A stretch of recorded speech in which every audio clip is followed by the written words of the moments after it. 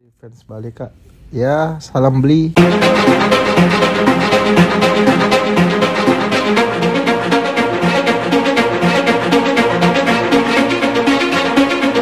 Terus jangan lupa di like, komen, dan subscribe terus di share juga ya.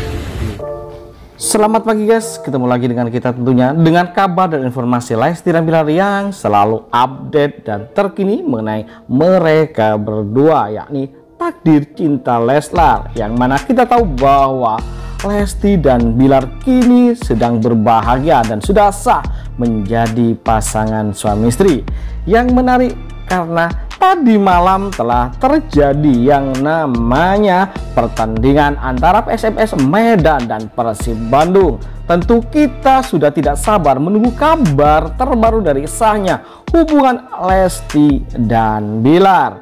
Ya, kabar tentang mereka yang melewatkan malam pertama yang penuh lika-liku ya ditelepon oleh Koko Ruben sebelum mereka ya bermalam pertama. Tentu hal itu menjadikan suasana semakin cute apalagi Rizky Bilar sedari siang sudah memberikan kode-kode kepada Lesti akan malam pertama yang akan mereka lewatkan berdua guys. Lihatlah Ya, kondisi ruangan yang sudah ke sana kemari sepertinya karena mereka sudah tepat dan pada kecapean. Selain aktivitas keseharian dan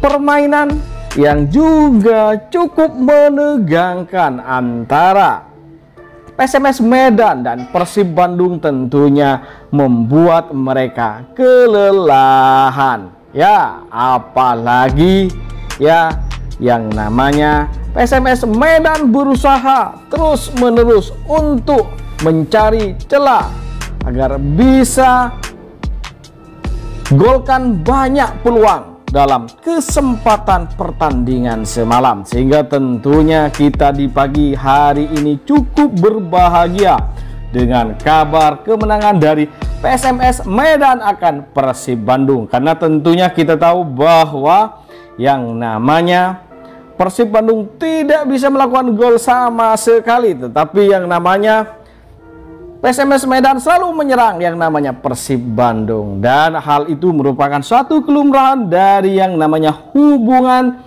yang baru sah yang menghabiskan malam pertamanya. Dan keadaan kondisi Lesti dan Bilar sekarang masih kelelahan karena aktivitas rutinitas sebelumnya dari berbagai prosesi hingga akad nikah kemarin tentunya tak hanya menyita waktu mereka dan pikiran mereka tetapi juga seperti di malam hari ini ya nonton keseruan mereka tentunya membuat lelah juga.